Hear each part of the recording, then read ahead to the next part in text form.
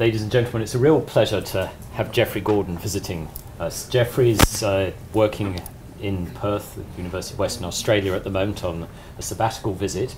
Jeffrey and I have worked together for a number of years. I mean, it goes back at least eight years, I think.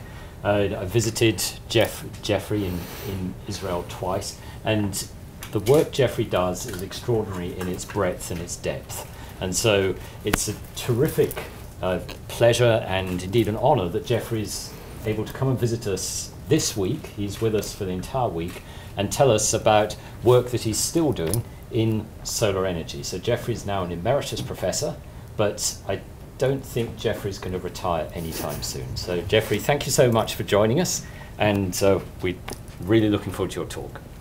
Thank you, Ned. Thank you very much. I'm thrilled to be at UNSW and in this department, really the preeminent university center for research in the solar energy sciences. And it's, uh, it's quite exhilarating to be exposed, even within my first day and a half here, to the, to the eclectic uh, research in almost every area of uh, solar energy research that's being pursued here. I want to express a particular debt of gratitude to Ned for his generous invitation for arranging my visit here. Uh, and uh, it, has been a pleasure knowing Ned for a number of years, working together, publishing together, and now we're, uh, we're reviving the collaboration and trying to advance some interesting concepts. So now let, let's have some fun with solar energy. I want to try to cover three areas that might be viewed as unorthodox. I hope you'll find them as exciting as I do, applications of solar energy research. And Ned spoke about breadth and depth. Well, three topics in 40 minutes, so the depth will be limited. Hopefully the breadth will be there. And just to give you some uh, intimation of where I'll be going uh, during the coming minutes, these three topics. The first is uh, using immensely concentrated sunlight in a unique way to generate uh, novel nanomaterials, particularly inorganic uh, nanostructures. The second will be something we're particularly excited about and quite recent, which is achieving massive improvements in the photon efficiency of photosynthesis in algae. In a center like this that might be viewed as useful for producing biofuels, but whatever you can use algae for, pharmaceuticals, antibodies, wonderful. And the third, which is very close to, I assume, the hearts of everyone here, is actually in photovoltaic science and optics, and it relates to onboard solar electricity systems for private commercial space missions with the emphasis on private and commercial, which establishes a whole new set of ground rules of specifications that never had to be contended with before in, uh, in space missions.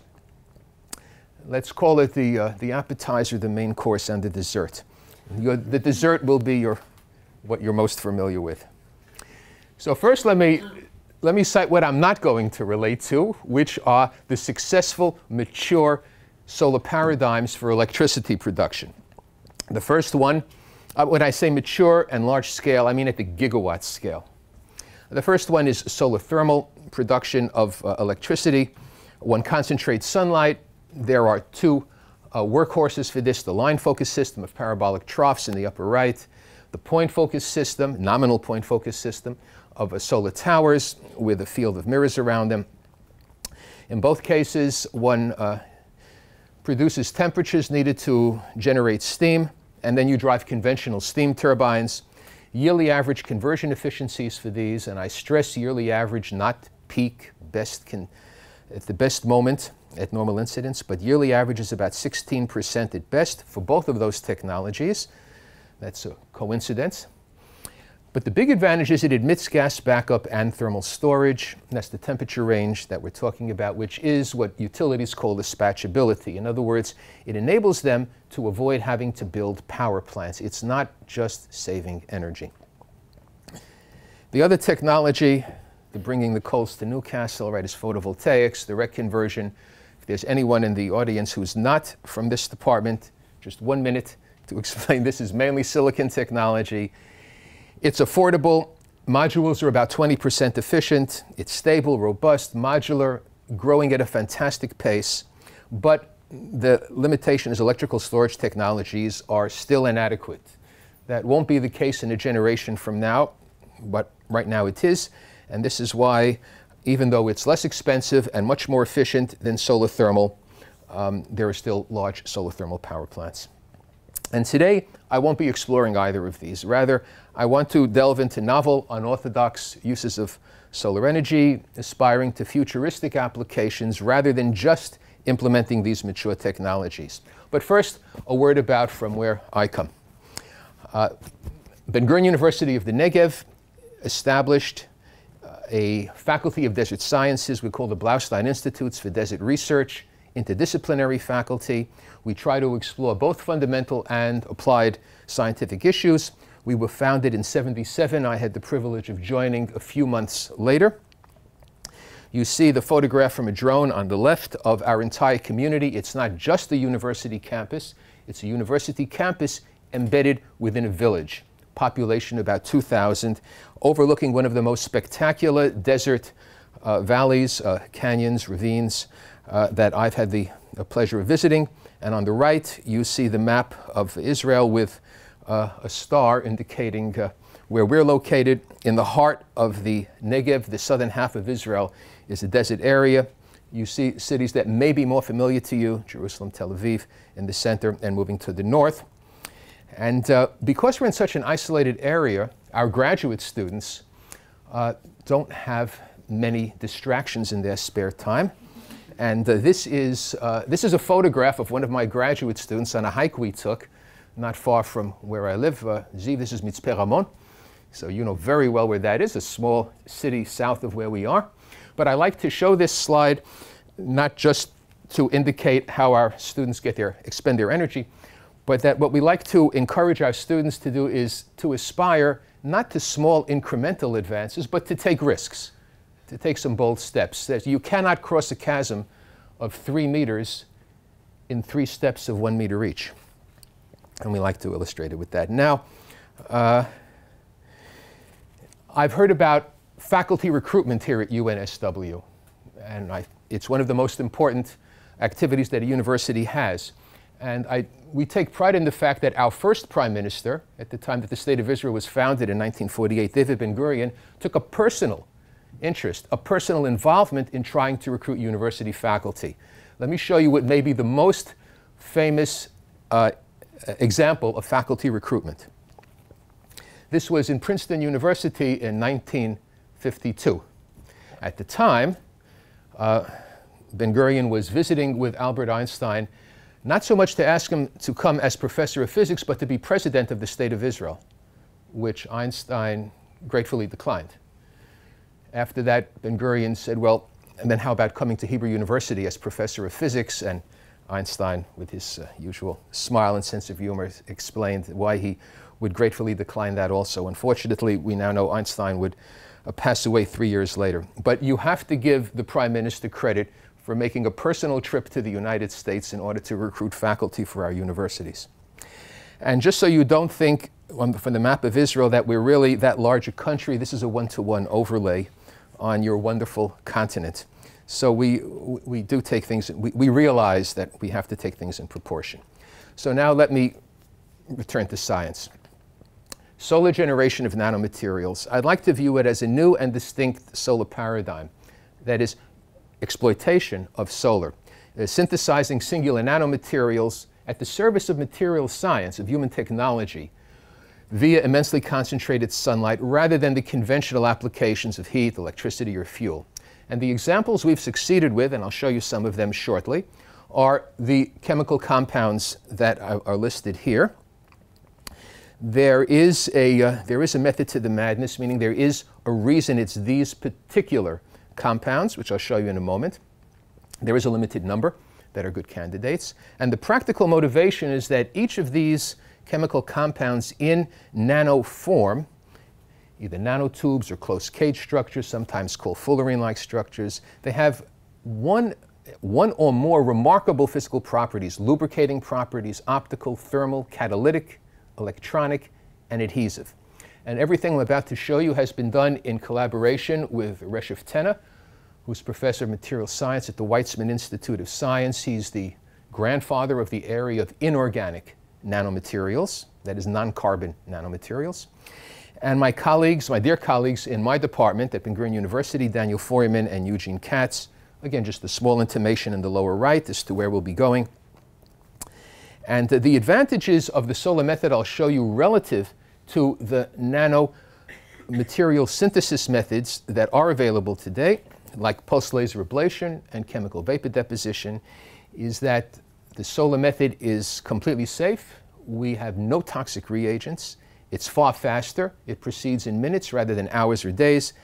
And it's scalable, unlike chemical vapor deposition, let's say, which gives it the potential of commercialization. So for those of you who may not come from the area of uh, nanostructures, just a quick review. The first nanostructures that were uh, discovered and for which the Nobel Prize in Chemistry was awarded years ago was carbon 60 and some other close cage structures of carbon, but most prominently carbon 60. Made from graphite, which is the layered compound illustrated schematically here, carbon 60, the drawing is there. And subsequently, nanotubes were found as well. Again, this is pure carbon. But there are sobering realities. One is that carbon, what was not known when the first carbon nanotubes were generated, was they turn out to be carcinogenic to human beings. That became basically the end of the carbon nanotube commercialization efforts. And for carbon 60, those of you who work in organic photovoltaics are intimately familiar with it. Well, there's no rational synthesis that's been found to date for carbon 60. It has to be made in arc discharge chambers, which means it's exorbitant and it's quite problematic to scale it up. And then uh, in 1992, Reshef Tenne at the Weizmann Institute of Science came along and said, uh, why just carbon? Aren't there other materials that can form nanotubes and fullerenes? What is special about graphite? And he realized, of course, immediately that it's the layered structure nature. And um, it should not be restricted to carbon. And he identified immediately molybdenum disulfide, diselenide, tungsten disulfide, tungsten diselenide, gallium sulfide, and there have been prominent successes with all of these, and the good news is that the nanostructures, nanotubes included, so far have not been found to pose any occupational health hazards. So we can proceed with these experiments without any problems. Now, these are examples of just three layered materials, graphite included, and what's special about it is they have very strong chemical bonds within the planes, covalent bonds, but between the planes are weak uh, van der Waals bonds. So it becomes relatively easy to separate them if there's enough energy input. And as you blast them into those uh, metastable structures, they then have a competition whether they fold in on themselves and saturate the dangling bonds. Just to show you a schematic of what molybdenum disulfide and cesium oxide look like.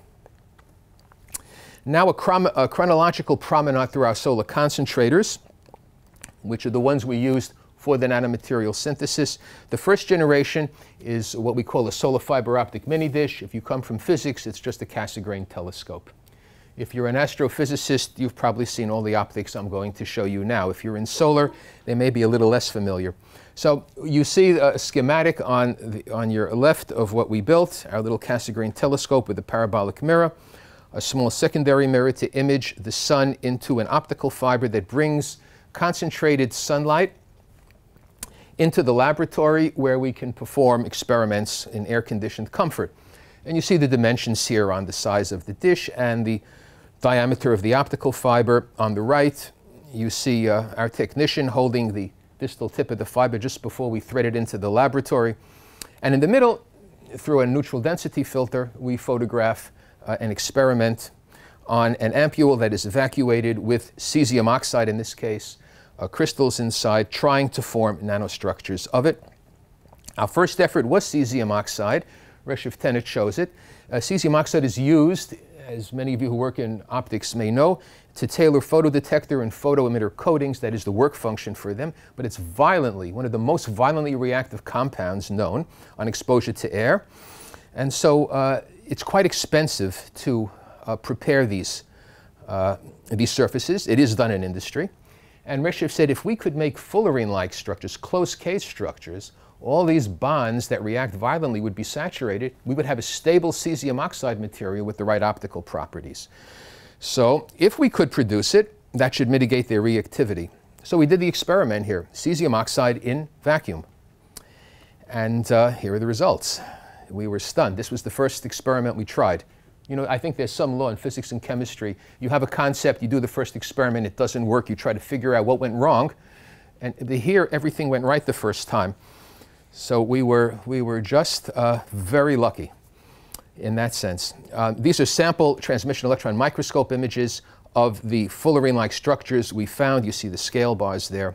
So here we realized we had an inexpensive photothermal process. I say it's photothermal. We found no evidence for photochemistry. For synthesizing uh, fullerene-like cesium oxide with immensely concentrated sunlight, confirmed. For those of you who do uh, materials characterization, these are the tools we use. If you're not a materials characterization, we just have to prove beyond any reasonable doubt that what you're looking at there is, first of all, only cesium and oxygen in a ratio of two cesiums to one oxygen, and that the lattice spacing is exactly what cesium oxide exhibits. And of course, it, it, I wouldn't be showing this to you otherwise. Um, so that was the first uh, success, and we were off and running. And then uh, we, were, we found that we were able to produce silicon uh, oxide nanofibers and nanospheres, which, which are valuable in the nanophotonics industry.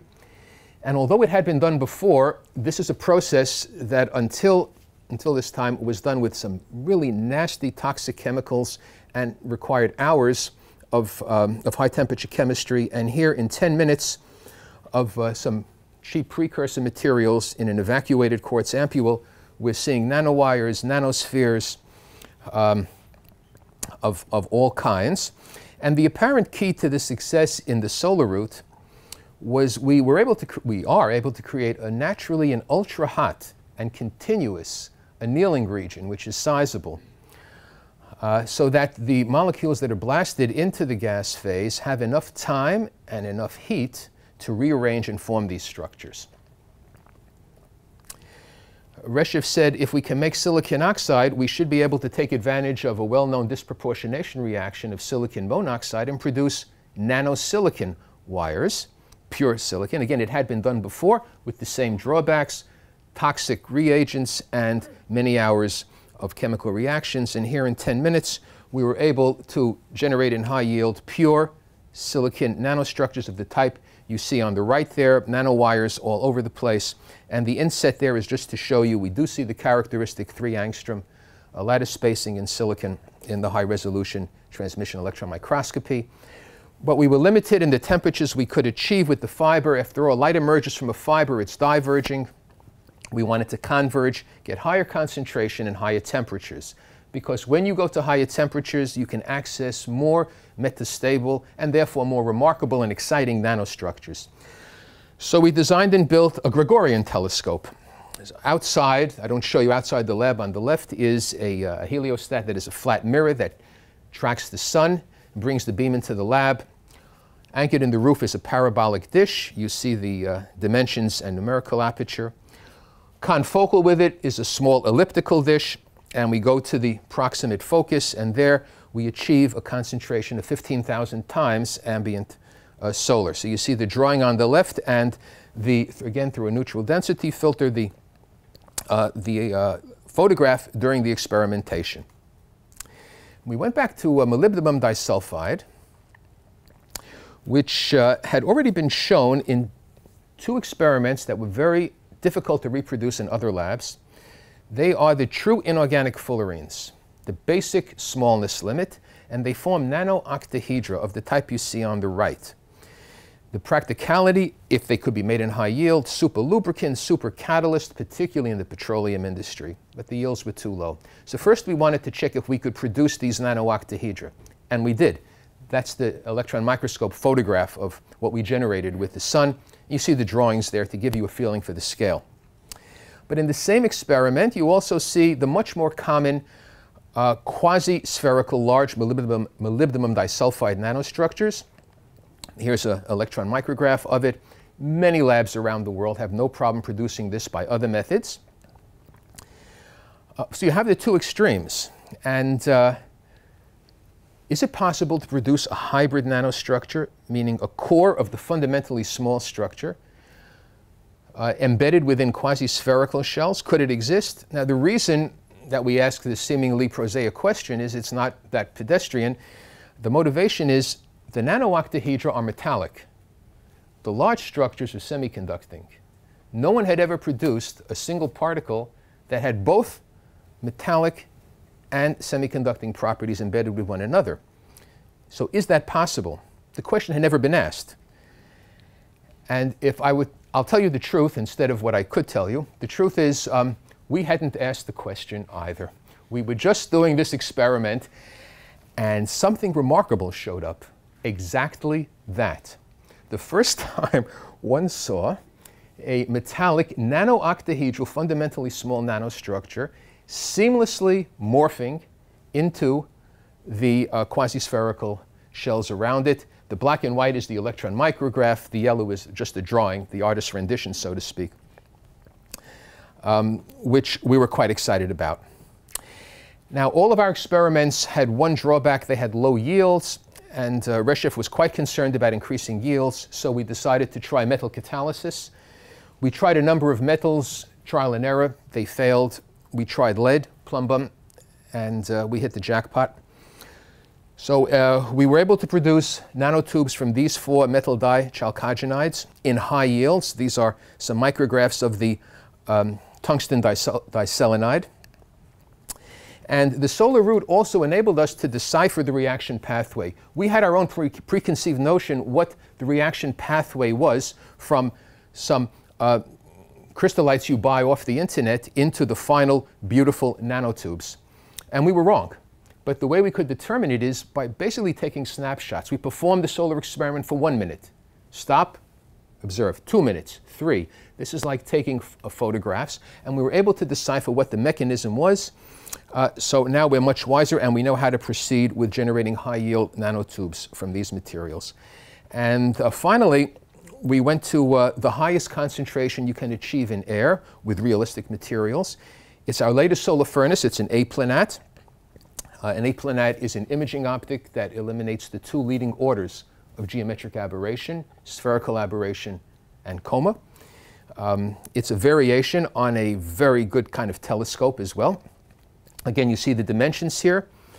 Uh, and it achieves 30,000 times uh, ambient solar intensity, or whatever units you like, 30 watts per square millimeter, 30 megawatts per square meter.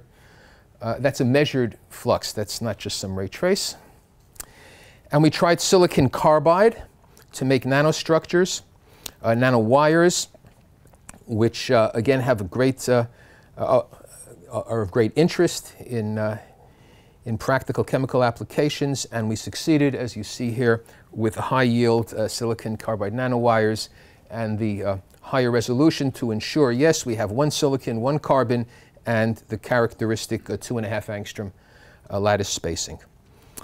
Uh, and again, it's safe and it's rapid. In progress right now, and I'm glad to report we're having some really lovely success, is graphene in high yield in a method that's scalable and boron nitride fullerenes or nano onions.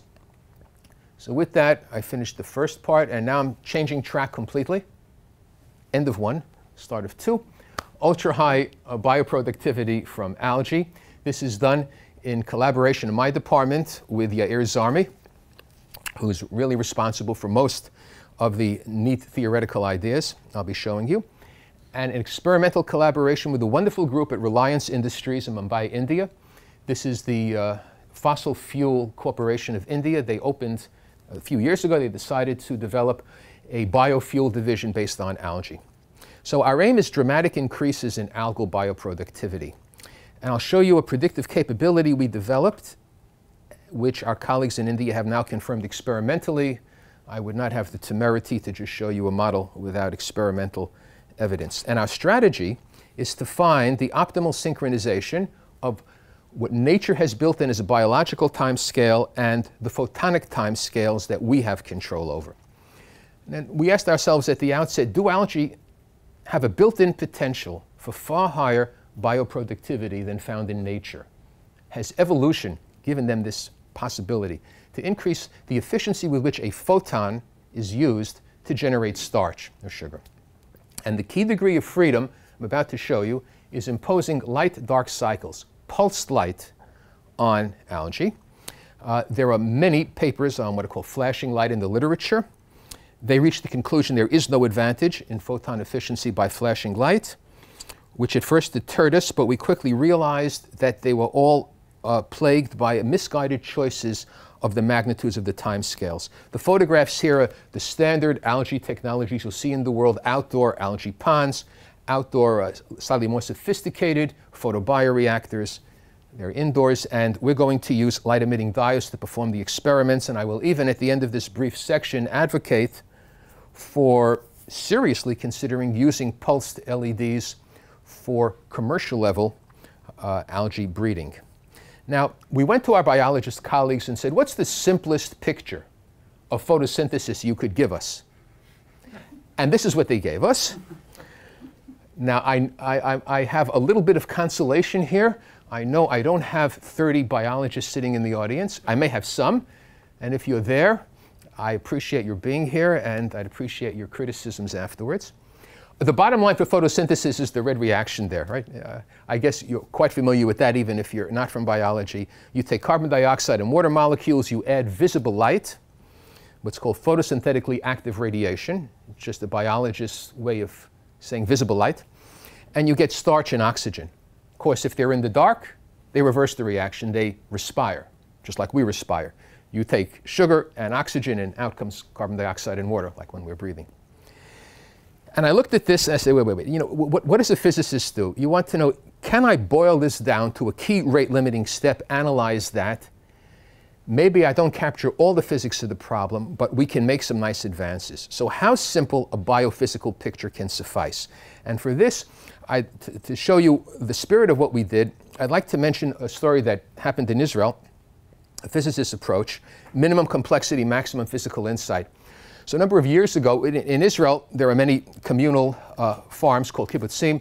Many of them have cow sheds, and they wanted to increase the milk output from the cows. So they came to the physics department at Hebrew University and said, do you think you could work with us to model this problem? They said, sure, no problem. So they, they um, received the information they needed, went back to the office. A month later, they came back to give the seminar. The professor went to the board and said, consider a spherical cow of uniform density.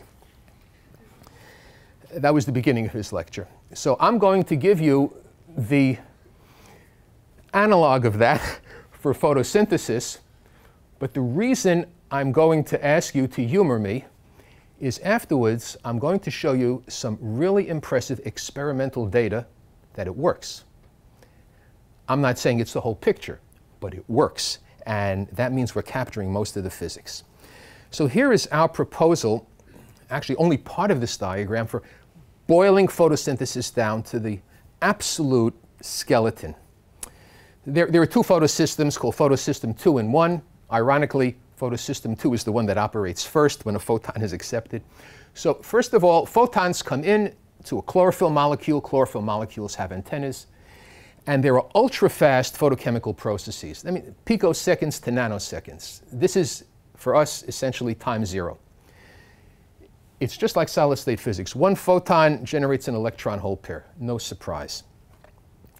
But then the electron starts to enter a chemical process, and one electron can generate what's called a quinone acceptor. That's a chemical molecule.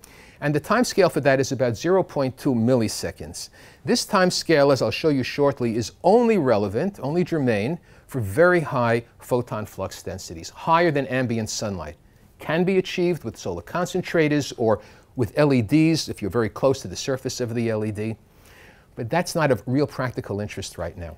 So once you have this quinone acceptor, two of them combine to form the key. The key molecule is called plastoquinone. I'll call it PQ here for short.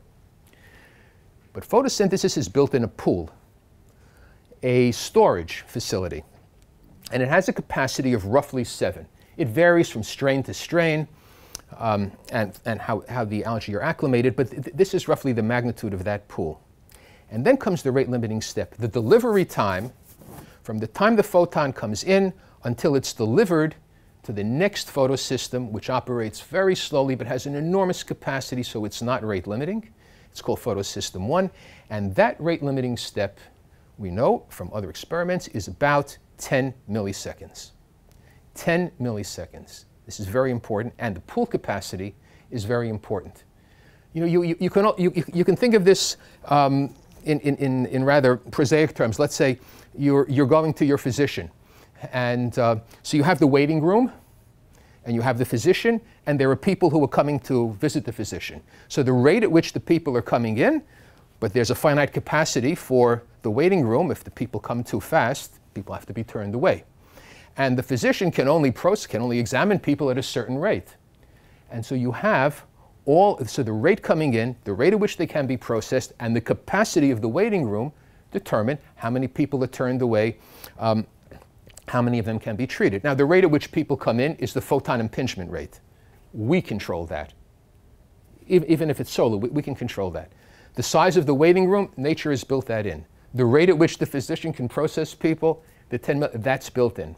So we, we have to find the right synchronization of photonic time scales and biological time scales. So in short, one photon generates one electron. That's essentially instantaneous. Two photons are needed to produce the key molecule. That means that the statistics at which photons arrive on an antenna, that's going to play a pivotal role in the analysis. And if that pool is full and photons keep on generating these molecules, then clogging occurs. It's a waste of photonic input. This is basically why photosynthesis appears to be so inefficient under standard sunlight. Sunlight is continuous. Just keeps on inputting the photons, and they cannot be processed fast enough. So this is what motivates us to consider pulse light to surmount the bottleneck, to synchronize this.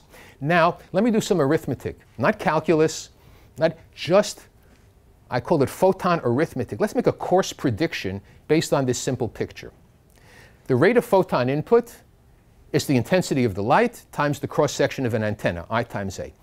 Now, we know from electron microscopy the order of magnitude of an antenna is one square nanometer. If I go outside and measure under clear sky, midday, peak solar intensity in the units that biologists like, which is micromoles of photons per second per square meter of collection area, it's 2,000. By the way, this refers only to photons in the visible. The other photons are useless.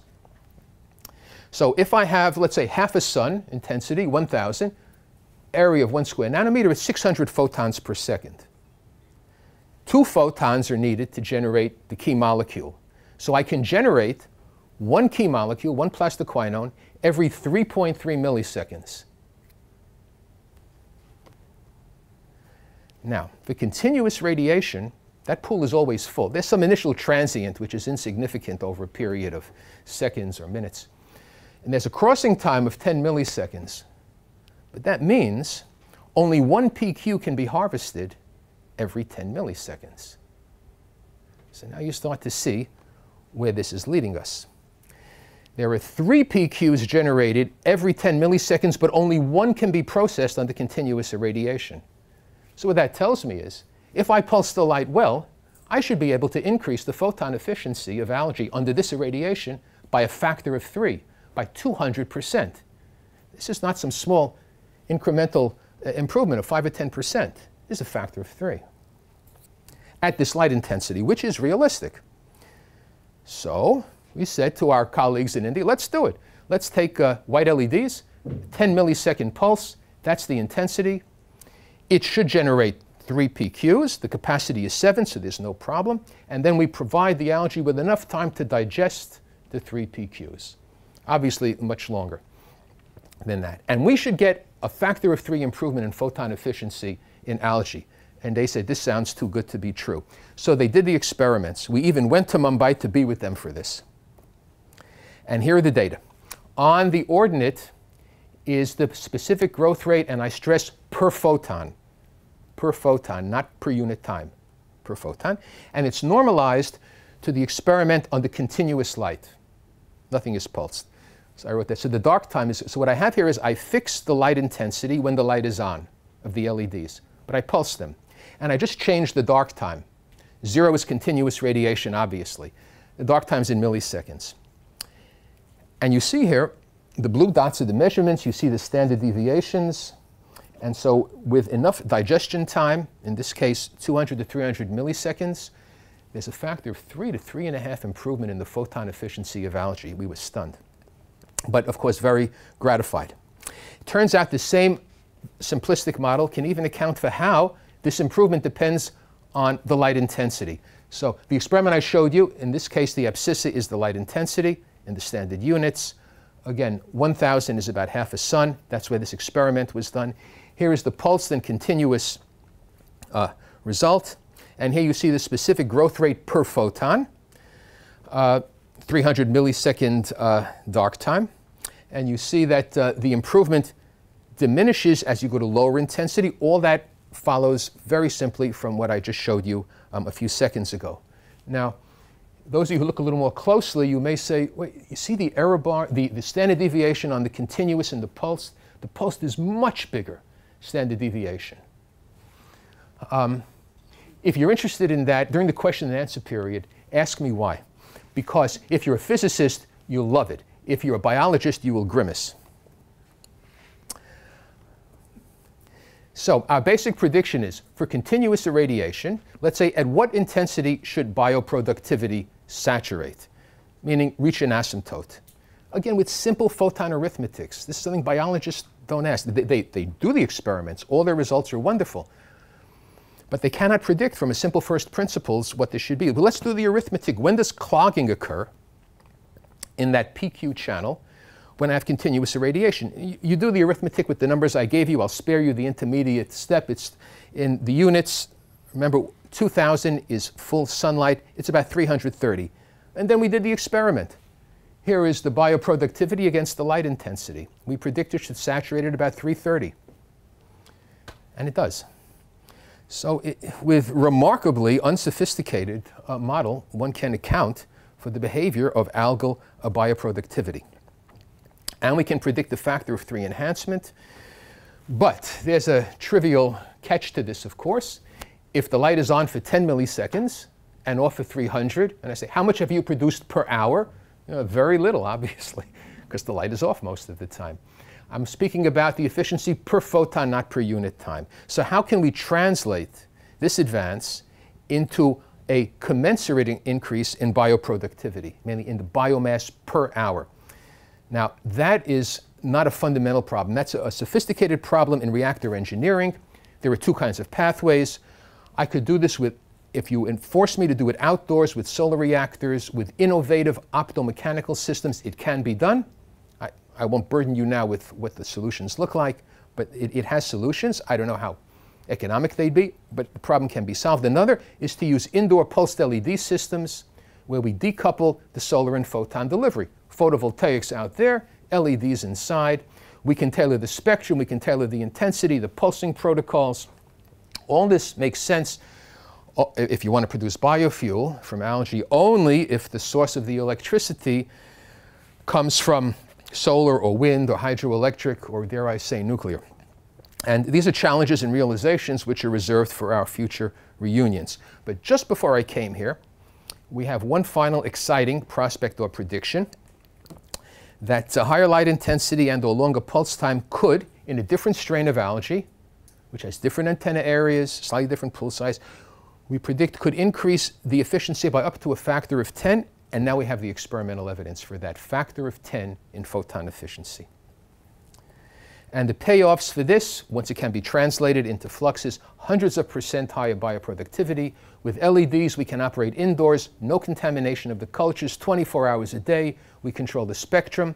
By the way, algae work very well with monochromatic red light. They don't need sunlight. Plants do. Algae, most of the algae strains, microalgae for this do not. We can control the intensity, the pulse times, and the temperature. Algae performance is also sensitive to temperature. It's a much smaller footprint. We can use vertical reactors. And uh, the footprint can be very small for a large radiative input. It's scalable, and it's directly uh, adaptable to products that are more lucrative than biofuels like antibody generation and pharmaceuticals. And so with that, I end the algae.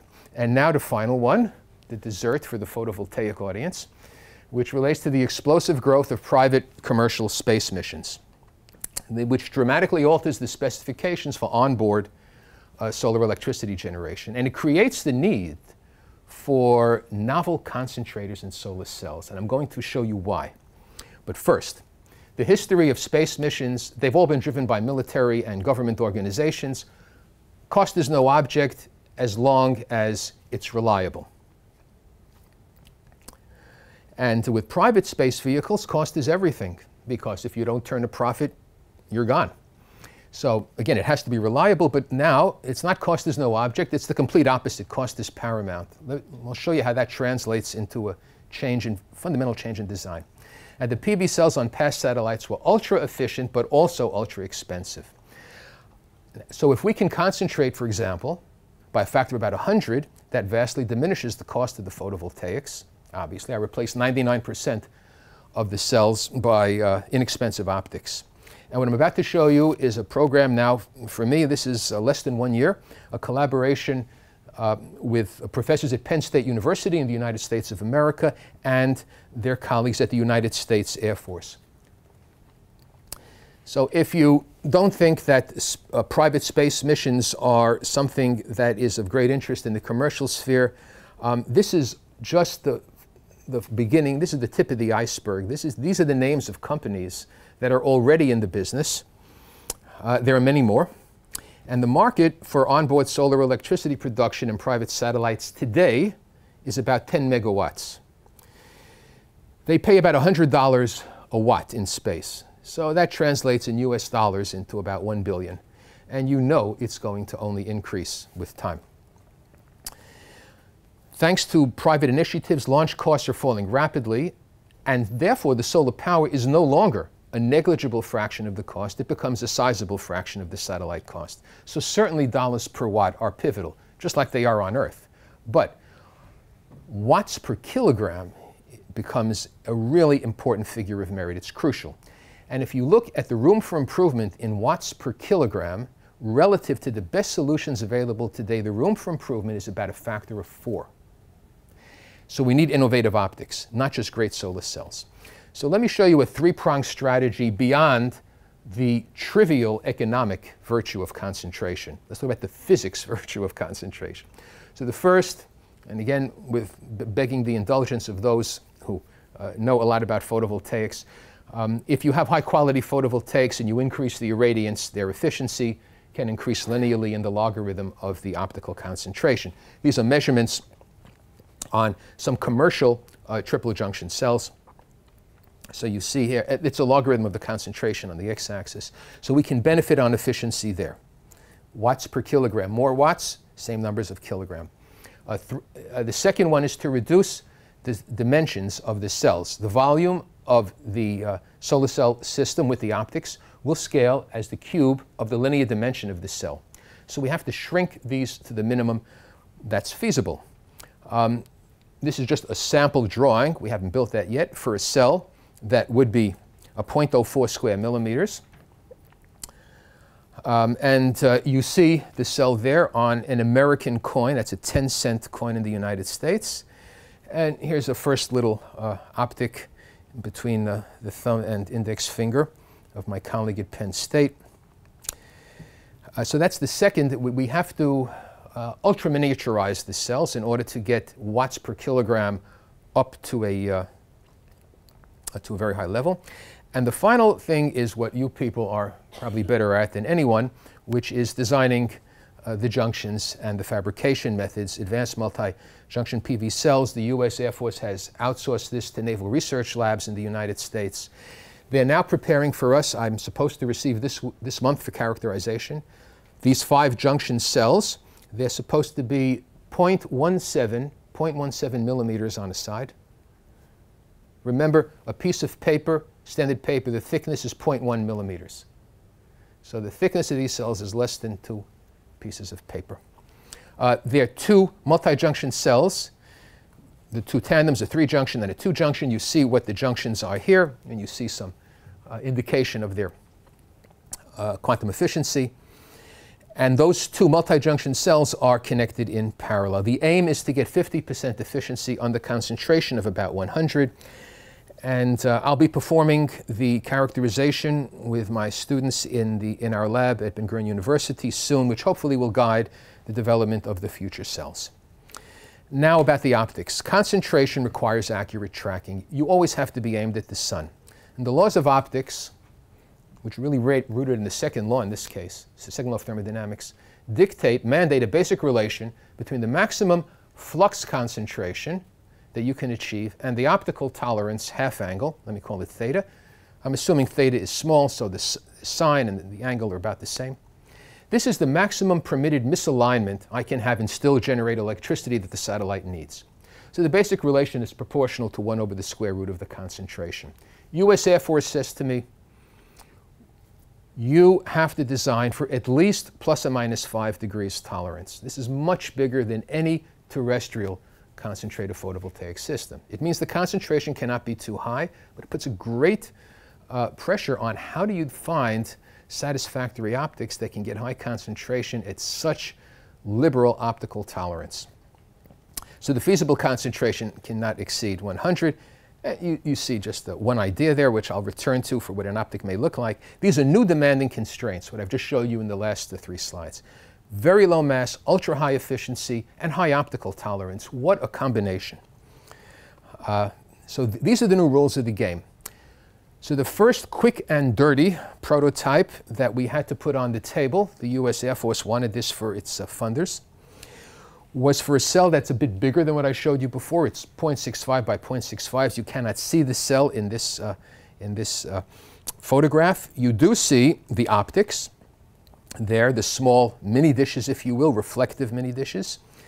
Of them, only 10 have the cell inserted. The other are awaiting them. Those are the ones that look black. If it, look, if it looks black, it means that uh, optically you're unfolding the, uh, the photovoltaic absorber on the exit aperture, so the optics are doing their job. Each diagonal of those hexagons is five millimeters. So we're, we're already at the stage of uh, moving toward fabrication. Uh, challenges, can we make it, I haven't shown you what that optic was, but can it be ultra compact, ultra high performance? This is an example of a design we're considering right now to be glass molded.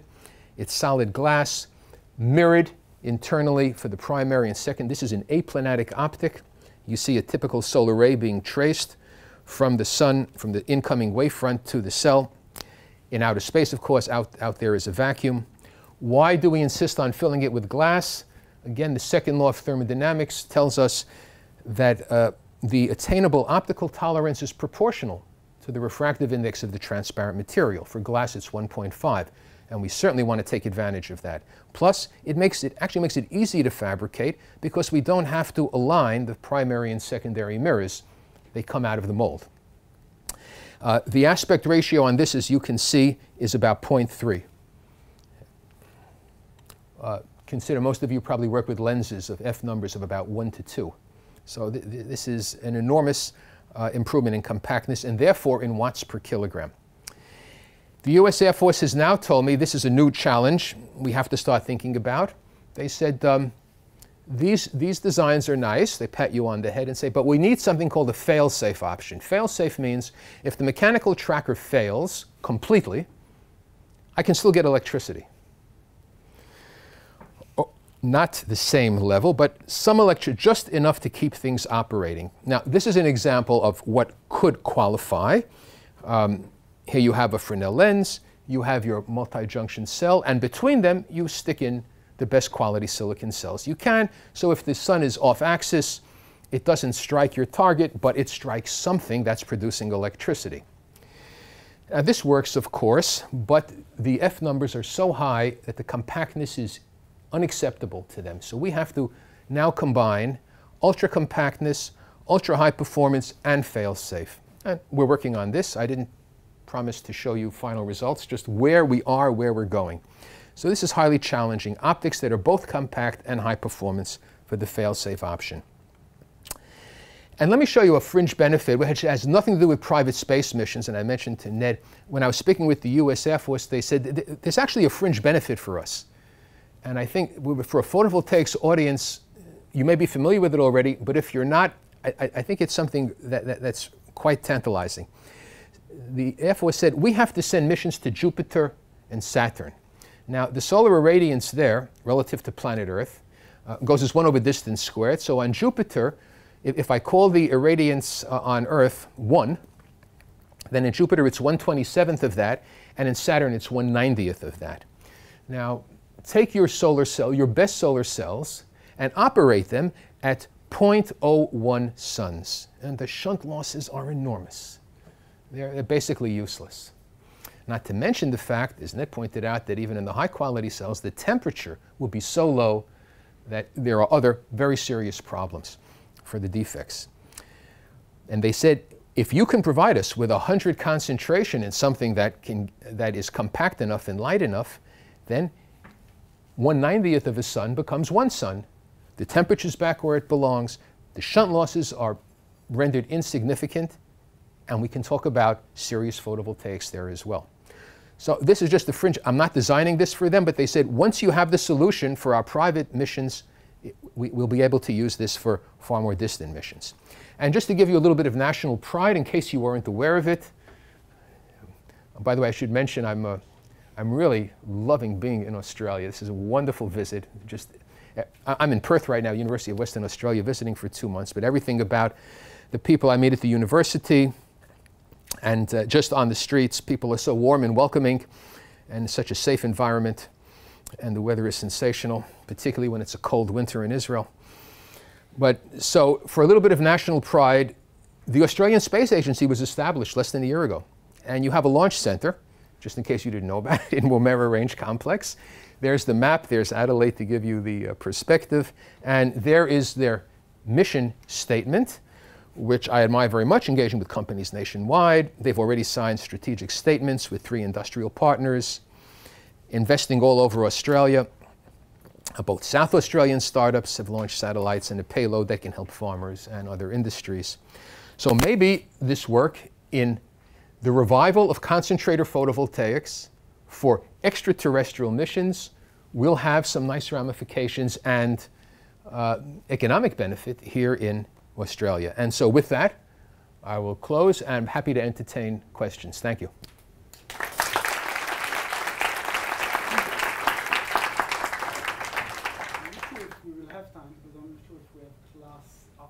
Ah. Maybe one question if someone has, because Jeffrey going to stay here for another week. So I'm here till Friday afternoon.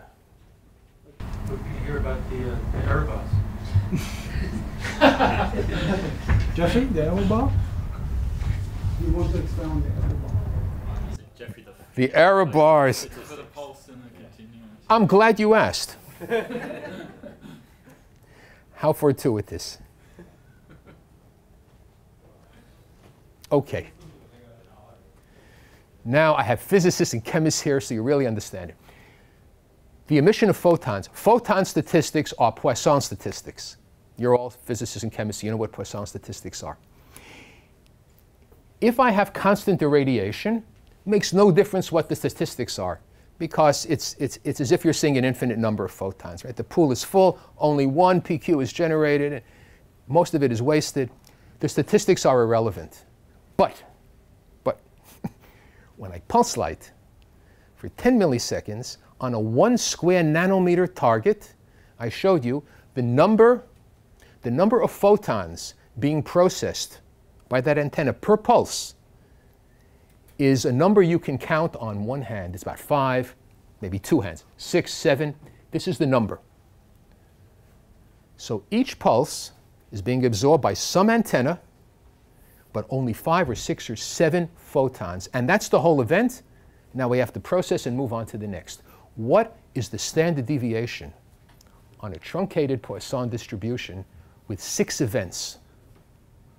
Six events. It's enormous, of course. This is the reason the error bars must be larger. And the biologists couldn't grasp it. They said, certainly it's larger because we're doing something in the experiment. We're not measuring the light. Or the algae behave differently. The I said, no, no, your, your instrumentation is great. Look at the error bars and you can, that's telling you your power meter is wonderful, your reactor is fab. These, those are the error bars you expect based on what you as biologists do. What I'm telling you is you have no control over it. And ask all your colleagues who have done flashing light experiments. No question, they must, they must have large error bars because physics doesn't allow you to have anything less than that. That is the convolution of the wonderfully tight error bars you have based on your particular instrumentation and what the laws of nature are imposing on you. And that's, That's, that's what I find so elegant. To, to be able to say, to, to, to tell them, you're not doing anything wrong, don't worry, you don't have to re examine your experimental techniques. The Poisson distribution is telling you that's the best you can do because the, the number of photons is so small. So that's the answer. That's the mystery. Okay.